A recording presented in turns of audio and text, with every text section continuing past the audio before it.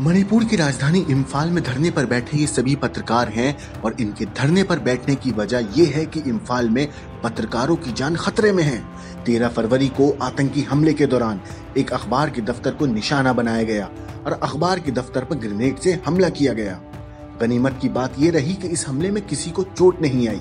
मौके पर मौजूद लोगों के मुताबिक ग्रेनेड फेंकने वाली एक महिला थी, जो बिना नंबर के स्कूटर से अखबार के दफ्तर पहुँची थी। उसने एक चाइनीज़ ग्रेनेड दफ्तर की ओर उछाला और फिर मौके से फरार हो गई। ग्रेनेड फेंकने के बाद भी वो फटा नहीं और बॉम्ब डिस्पोजल स्क्वाड ने उसे निष्क्रिय किया। इस हमले से पुलिस महकमे में हड़कंप मच गया और पुलिस ने मामले की तफ्तीश करने के लिए चार सदस्यों की टीम गठित कर दी, जो मामले की जाँच कर रही है।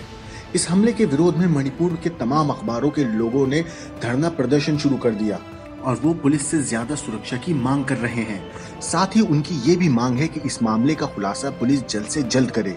पुलिस कुछ ऐसा इंतज़ाम करे कि भविष्य में आतंकी अखबारों के दफ्तर को निशाना ना बना सके। हमले के विरोध में इम्फाल से निकलने वाले अखबारों ने प्रिंटिंग का काम बंद कर दिया है और करीब चार दिन से पूरे मणिपुर में लोगों के घरों में अखबार नहीं पहुँच रहा है। केवल अखबार ही नहीं, बल्कि राज्य के टीवी चैनलों ने भी हमले के विरोध में प्रसारण बंद कर दिए हैं। ब्यूरो रिपोर्ट क्राइम तक।